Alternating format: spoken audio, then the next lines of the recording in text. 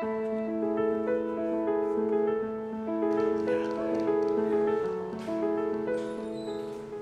of the best things about working here, and I think for the students, is the integrated curriculum where we take um, things that we do in our academic programs, such as language arts and math, and then move it into life skills. So, for example, we were learning about fractions in math, and that turned into a lesson on how to make quesadillas while also learning about fractions.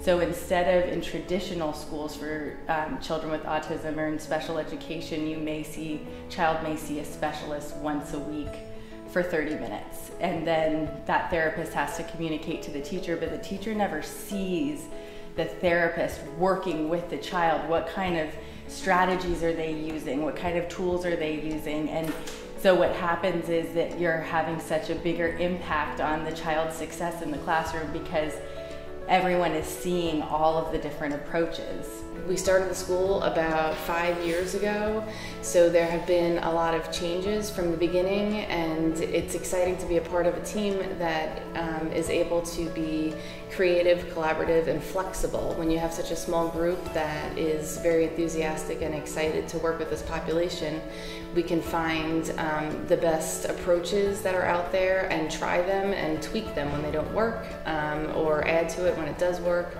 So um, it's an amazing place to be. You cannot have a child where they're not emotionally happy and in a, in a place where they feel comfortable with themselves and ask them to learn. I think that that's not that's not just for kids with autism. That's probably for me across the board.